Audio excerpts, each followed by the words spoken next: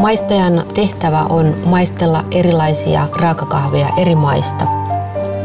Kahvi on sataprosenttinen luonnontuote, eli mitään siihen ei lisätä ja mitään siitä ei myöskään voi ottaa. Kun kahvia pahdetaan, niin haetaan se oikea sopiva väri. Sitten alkaa kuulla semmoista rätinää ja poksunaa, koska se papu aukeaa. Ja silloin tiedetään, että nyt se H-hetki lähestyy. Vielä ei ole keksitty mitään konetta, mikä pystyisi maistelemaan, arvioimaan kahvia. Ja tähän mun pitää sanoa onneksi. Tunteella ja taidolla. Juhlamokka. Tietysti Paulikin.